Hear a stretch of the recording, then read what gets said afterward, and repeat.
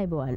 කතා කරන පොත් වැඩසටහනින් අපි අද දවසේ කතා කරන්න හිතුවා ටිකක් වෙනස්සුණු කෘතින් කිහිපයක් පිළිබඳව. සාමානෙන් අපි නව කතාවක් වුණත් කෙටි කතාවක් වුණත් කවියක් වුණත් කතා බහ කරනට පොඩි පවුල් ජීවිතයක් පිළිබඳ වෙන්න පුළුවන් එහි චරිත අපි බොහෝදුරට ඇසු ඇසුරු කරපු චරිත වෙන්න පුළුවන් අපේ ගමේ ගොඩේ චරිත වෙන්න පුළුවන් නාගරික අපිට හමුවන චරිත වෙන්න පුළුවන් මේ අපේම ජීවිතවල චරිත කියන එක තමයි අපිට හුඟක් දැනෙන්නේ. හැබැයි දැන් අපි හිතමු ටිකක් අස්වාභාවික චරිත අපි ඩ්‍රැකියුලාගේ චරිත එහෙම ගත්තාම අපේ අර සිත් සතන් වල පොඩි තිගැස්මක් ඇති වෙන ඒ වගේ චරිත. හැබැයි දැන් මේ පිළිබඳවත් ලෝකයේ විවිධ පොතපත ලියවිලා තිනවා නිර්මාණ ලියවිලා තිනවා. ඉතින් විශේෂයෙන්ම එවැනි නිර්මාණ පරිවර්තනය කිරීමත් එක්තරා විදිහක අපේ නිර්මාණයේදී එක්තරා කලාවක්. ඉතින් මේ ගැන ටිකක් උනන්දුව දක්වන මේ පිළිබඳව පොතපත ලියන ලේඛකයෙක් අපිට මුණ ගැහුණා. ඔහු තමයි ජයශංක කරුණාරත්න. අද අපි ආරාධනා කළා කතා කරන පොත් වැඩසටහනින් ඔහුගේ නිර්මාණ පිළිබඳව පොඩ්ඩක් ඔහුත් සමග කතා කරන්න. ආයිබෝන් ඔබට. දැන් වෘත්තියෙන් ඔබ ලේඛකෙක් නොවේ. වෙනත් වෘතියක නියැලිලා ඉන්න. කොහොමද මේ ලේඛනය කියන දේට ගැන ලියන්න ආසාවක් කොයි කාලෙ වගේ දැතිවුණේ? මම පොඩි කාන්දලම ගොඩක් පොත්පත් කියව්වා පොත්පත් කියවීමේ හුරුව මට ලැබුණේ මගේ අම්ම නිසා අම්ම මට ගොඩක් පොඩි කාලේ කතන්දර කියලා දුන්නා ඉතින් ඒකත් එක්කම පොත්පත්වලට ගොඩක් ඇබ්බැහි වුණා ඒකත් එක්කම මම ඉගෙන ගත්තේ මාතර රාහුල විද්‍යාලේ එහිදිත් මම ගොඩක් කලා කටයුතුවල සම්බන්ධලා වැඩ කරා ඉතින් පොඩි කාලේ ඉඳලම පත්තරවලට එහෙම මම ලිව්වා ඉතින් ඒකත් එක්ක තමයි මට ලිවීමේ ආభాෂය ඇති වුණා. ඉතින් ඒකත් එක්කම ඉතින් මට පොතක් ලිවීමේ ආසාව ඉතින් ගොඩක් කුඩා කාලේ ඉඳලම තිබුණා. මුලින්ම ලියපු කෘතිය පිළිබඳ මතක් කරමු.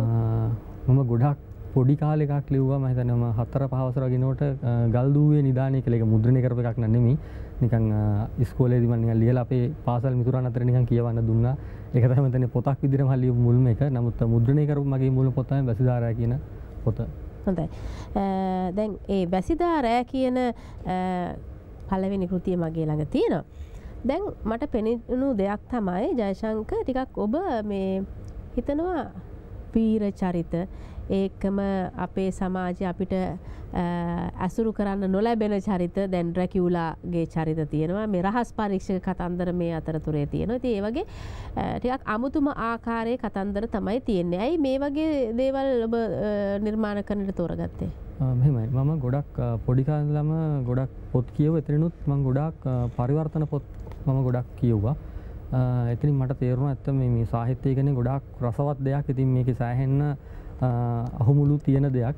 නමු ඒ වගේම මට තේරුණා දැන් බටහිර සාහිත්‍යය ගත්තොත් එහෙම විවිධ ශේෂ්ත්‍ර තියෙනවා. ඒ කියන්නේ අපිටම පරිසරය පිළිබඳ ලියවෙන වෙනම පොත් තියෙනවා. ඒවට අදාළ වෙනම ලේඛකයෝ ඉන්නවා.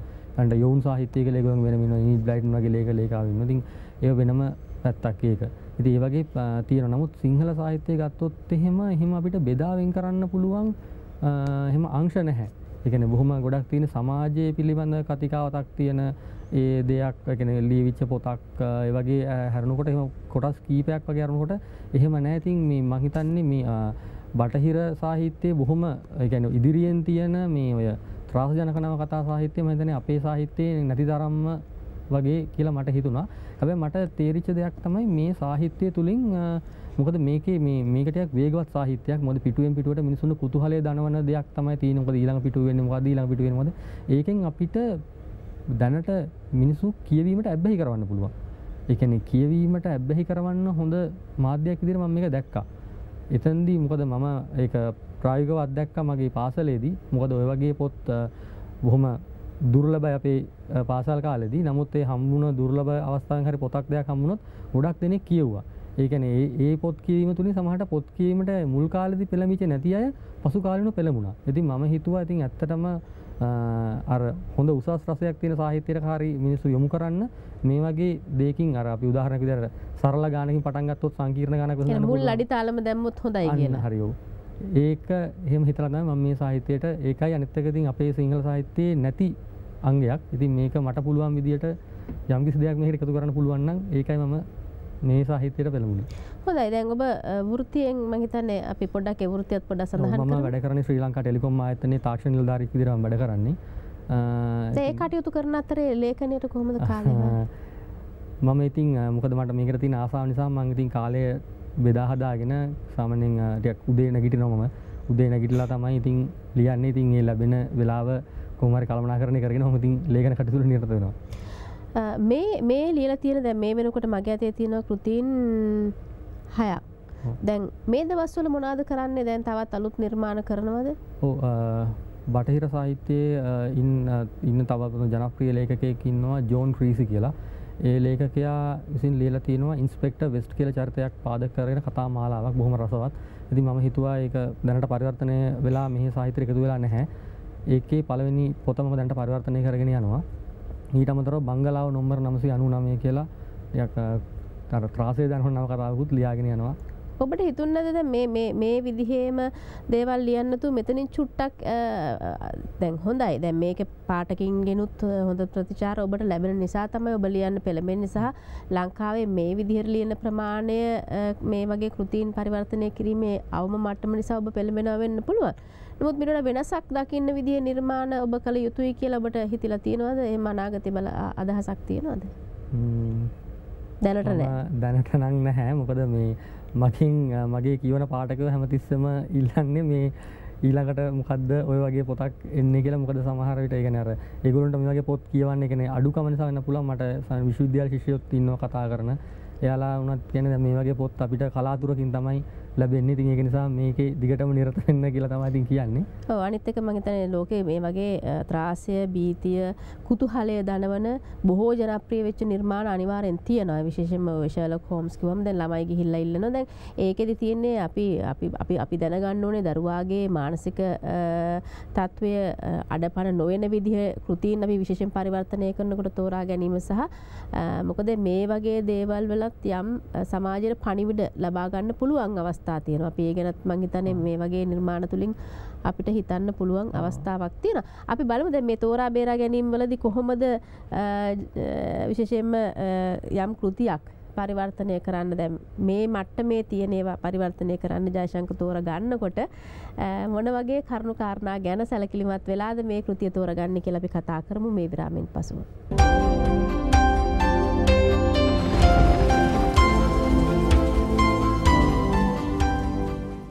හොඳයි. විරාමෙන් පසුව නැවතත් අපි ඔබෝ සම්බන්ධ කරගන්නේ කතා කරන පොත් වැඩසටහන්ට. ජයශංක කියන්නක දැන් අපි කෘතියක් තෝර ගන්නකොට දැන් මොන වගේ ගුණාංග ඔබ බලනවද මේක පරිවර්තනය කරන්න සුදුසුයි කියලා හිතනකොට?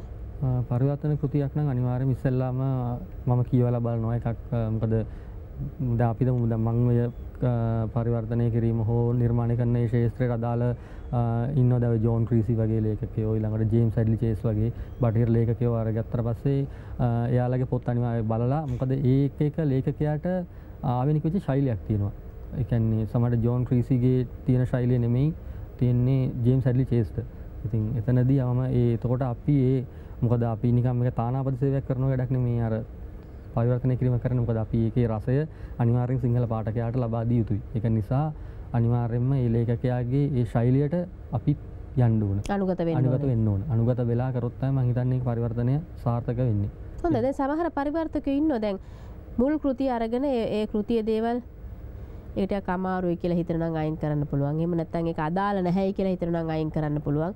එම නැත්තන් අපේ රටට ගැලපෙන්න්න හැයි කියලා හිතන දැන් ඔබ කොහොමද තෝරා බේර ගැනීමක් කරන්න?